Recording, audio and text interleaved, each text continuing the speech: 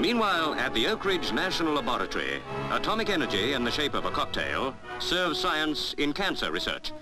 A gamma scintillation counter, a new amazing diagnostic instrument, is used on the patient. It actually draws a picture showing the extent of cancerous tissues in his system. For other patients, doctors inject radioactive liquids intravenously. Lead bricks shield the solution, called gallium-72, which is handled with extreme care.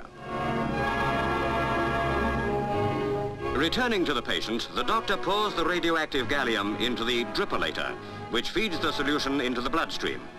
This is atomic energy being used in research to benefit mankind.